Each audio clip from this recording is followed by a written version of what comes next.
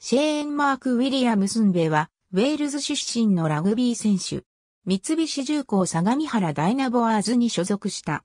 代表やクラブチームでの実績の多くは、ウイングとしてのものであるが、スクラムハーフでもプレーできる。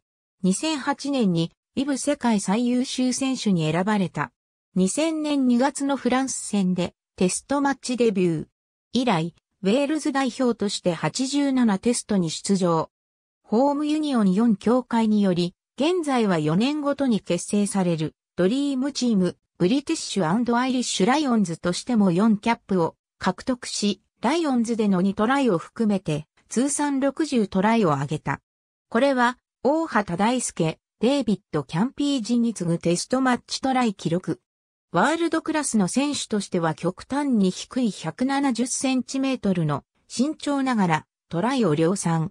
2003年ラグビーワールドカップでは、小さな人間には大きなスペースがあると発言している。2012年のプロ12グランドファイナルでは、決勝トライを決め、オスプレイズを優勝に導いた。2014-15シーズンをもって引退することを発表している。ありがとうございます。